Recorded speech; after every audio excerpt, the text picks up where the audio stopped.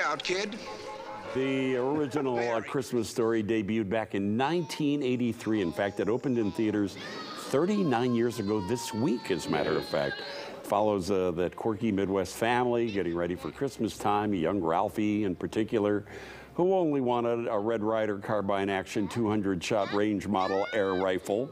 Over the years, this movie has become uh, a favorite, a tradition to watch on television during the holidays. In 2000, a stage adaptation was produced. A few years later, the more successful Christmas Story musical scored three Tony Award nominations. And now, the original Ralphie, actor Peter Billingsley, and several other of the original kids from the 1983 movie are all back as grown-ups in the sequel, A Christmas Story Christmas, featuring Ralphie and his family now returning to his childhood home at Christmas time.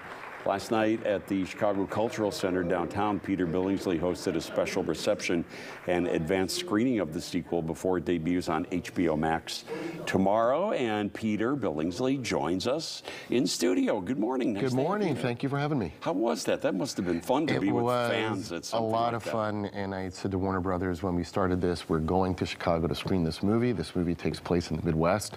And as you'll see, the in the beginning, Ralphie's grown up and he lives in Chicago in 1973 on the South Side. So it was really, really important for us to come here and screen. Yeah, there were, there were really a lot of Chicago roots, weren't there, in the original uh, movie? It was, you know, supposedly set wasn't called Hammond, Indiana, It was but called Hohman. Hohman. Exactly right. yeah, changed one letter. Just a couple letters, yes, Uh, but that's where it was originally set. But you actually filmed in Ohio. We right? shot the original movie in Cleveland because the director found a house that he thought was perfect.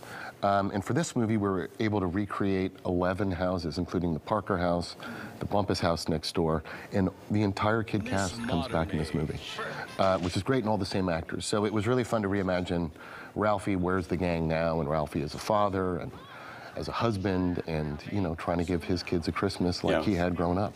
I, I had so much fun watching this and trying to, you know, place the the kid actor with the adult actor. Now you're easy now as long as you wear Right, your as long as glasses. I got the glasses on, You don't that's even wear glasses now, but you have to. So it's like, That's a bad rumor. No, I yeah. do. I was not born with good vision, and I think they worked it into the storyline of that Yeah, movie. I mean it's so signature of uh, Ralphie, but uh, to see all the original uh, kids, Yeah.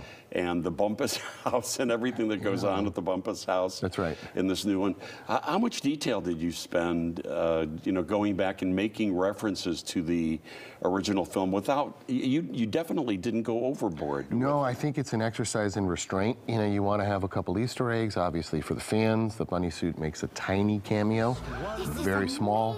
Um, it was really about seeing where these people's lives are now, what their hopes and dreams are, and, you know, giving them a fresh Christmas. Yeah, I'm surprised it took so long for a sequel to this movie to come out. Was it 39 years. Just like legalese, legal stuff. A little bit. It was an interesting movie. It was kind of popular when it came out, but it really didn't do great. And it was through cable and video that it started to gain life. So we talked about it. We wanted to get it right, and I was lucky to have Warner Brothers and Legendary and the resources, and got to produce with my longtime pal, Chicago native Vince Vaughn. That we love uh, our Vince. Vaughn, yeah. Absolutely. Yeah, that's great that he's involved. What do you think the appeal is of the original movie? It's a good question. I can say the one thing that most fans say to me is they feel like it's their family. You know, it wasn't the super saccharine family, it was very real.